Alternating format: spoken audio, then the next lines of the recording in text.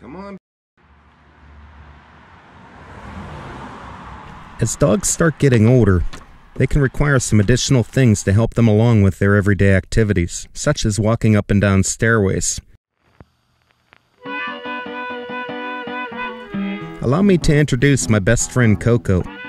If you've been watching my videos, I'm sure you have seen Coco in them a time or two, and as you can probably see, Coco is no spring chicken.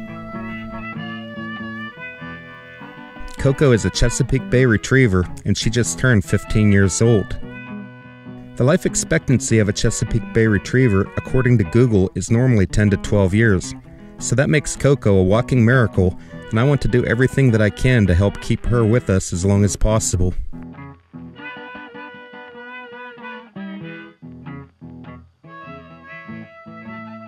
Unfortunately, Coco was diagnosed with Lyme disease about eight years ago, and hip dysplasia is pretty common in this breed when they reach the geriatric stages. Until recently, she has had no problem going up and down stairs, but it is becoming a real chore for her nowadays, and today we are going to try to fix that. So I got the idea to build her a ramp to make it easier for her to get up and down the steps. And after a little planning, came up with something that would not impede on the regular steps at all. This would require the removal of a few railing components to give Coco her own little doorway to enter and exit the ramp.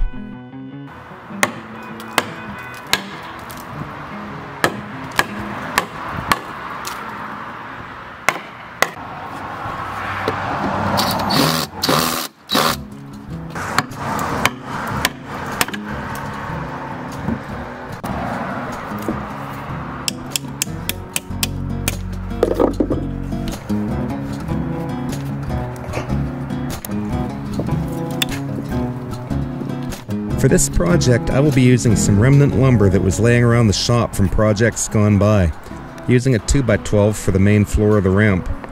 I will start out by measuring a length that will give Coco the lowest percent grade possible, within reason of course.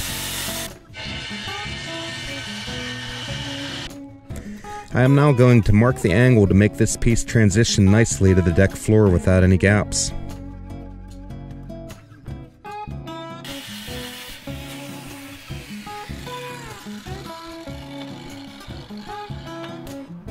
I will use a scrap 2x4 to make the ramp more sturdy where it meets the deck.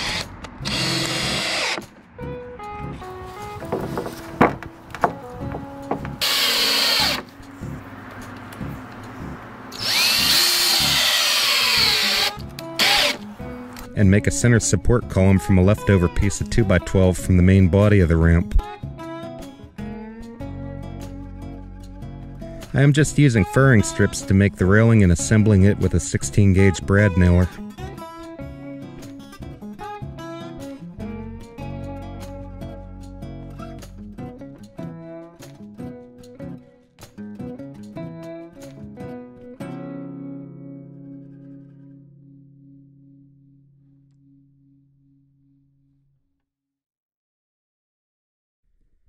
For just around 10 bucks at the local Good Stuff cheap store, I got a whole stack of carpet stair treads to add some grip to the floor.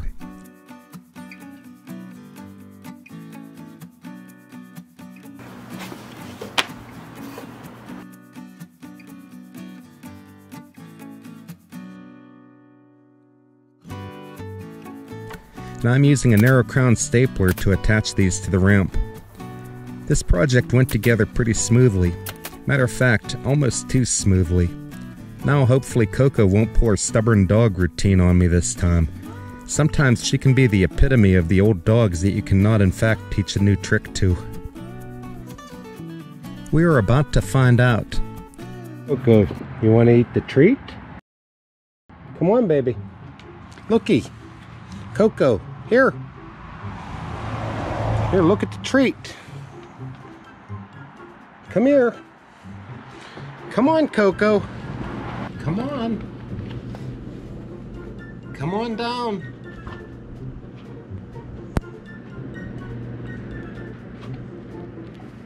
I guarantee it, Coco, and then you got the pizza.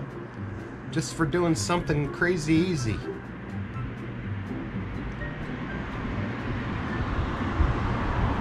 She can't fall from that. I mean, I've seen her go down weird shit before. That even. She's contemplating getting over that rail somehow to go to the steps so she could reach in and get the rest of them like she did the bottom. I had to block the other way on the porch because she was going to jump off the other end. Really?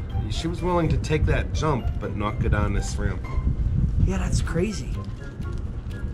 You willing- even put her on the steps, Yep. and she wanted to jump over the rail. Mm-hmm. Holy hell! Just stubbornness, you know, like Yeah. I don't need this. I'm not going to use it. She'll have to. I would make her use this. Oh yeah, she she's got to use Yeah. it. Yeah. I mean, you should see her go up the steps. So I tried everything, including making a trail of her favorite treats, and she seems to be on to every trick that I know of. I will describe it as being defiant in the most oppositional manner.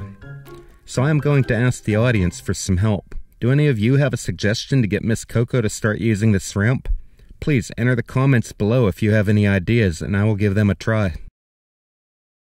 Don't forget to like, share, and subscribe if you enjoyed the video. And remember, when life gives you mountains, pedal. Thanks for watching, and I'll see you next time.